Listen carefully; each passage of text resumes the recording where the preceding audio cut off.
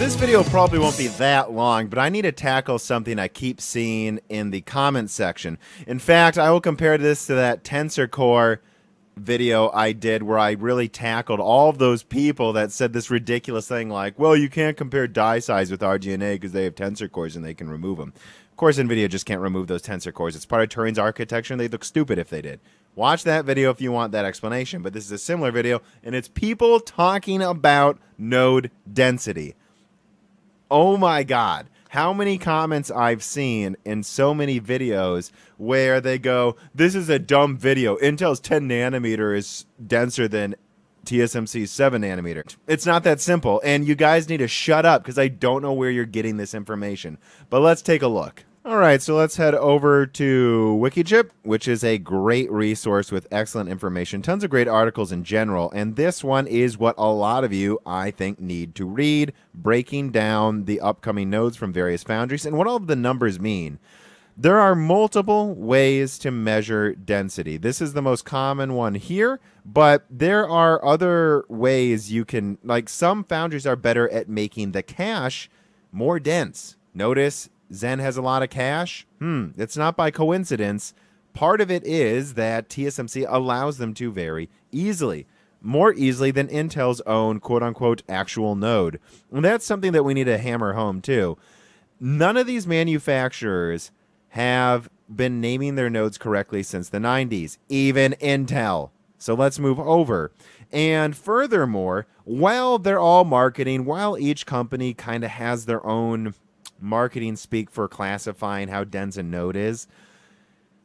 Typically, if it's a lot lower of a number from one manufacturer, it's still more dense than the competition. Look at TSMC's 10 nanometer. It is more dense than Intel's node. The closer you get to the top is the denser it is. They are more dense right now. Right now, TSMC's 10 nanometer from two years ago is more dense than Intel's 14. Please, people, and Samsung's 8 nanometer, you know, the one that NVIDIA is probably going to use for Ampere soon, is a lot more dense. And so then let's compare this method. This is just one part of a monolithic die. It's within 10%, guys. TSMC's current 7 nanometer is within 10% of Intel's uh, non existent 10 nanometer node. So please, please bear with me and stop spamming the comments. And if we move forward, we can see that that's just in one way of measuring it. It's still basically the same, right? You also have to look at the height, but I don't want to get in the weeds here. I want to make this as simple as possible. All right? Intel's 10 nanometer, TSMC's 7. They're the same. They are the same, people. And furthermore, if we go and look at what TSMC has coming, their six nanometer is uh, I would I don't even know if I call it a half node shrink. It's a kind of like a third node shrink. Well, let's call it a half node shrink for marketing sake. It will be an 18% denser die, and this is going to come out in 2020. 2020, at least by the end, I bet they start having six nanometer. Some early six nanometer parts by 2021. They will definitely be making them in bulk. TSMC 6 nanometer. Remember what we said before, people. Let's move over. 18% more dense. It will already be more dense by the time Intel's actually ramping up high performance 10 nanometer chips, if they ever do. It's not happening this year. It's probably not happening in a way greater than Broadwell was next year if you want a you know the Skylake event, you know when Intel finally really hit high performance 14 nanometer, high performance 10 nanometer from Intel probably won't be till 2021 or the end of 2020, and by then TSMC will already have shrunk their equally as dense die by 18%, giving them a density advantage over Intel. Full stop.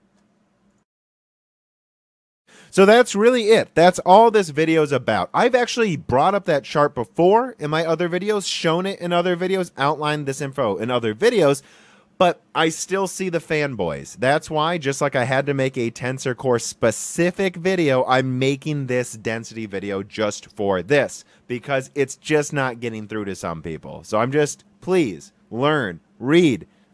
A- TSMC is functionally equivalent to a fully high performance 10 nanometer from Intel, which Intel will not be to for over a year.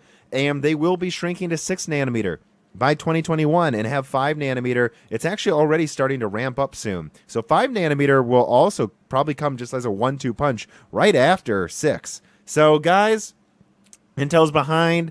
And right now, even if they had a full 10 nanometer, it'd be equal to TSMC, not better. Hope this was instructional. Hope you guys learned something. Um, if you liked it, please share it, like it, uh, retweet my videos on Twitter, um, ring the bell button if you've been watching them. Make sure you've subscribed. Half of you aren't. I know it from the statistics YouTube is showing me. And of course, if you support me on Patreon, you can talk to me on Discord afterwards. All right. Thank you, everybody.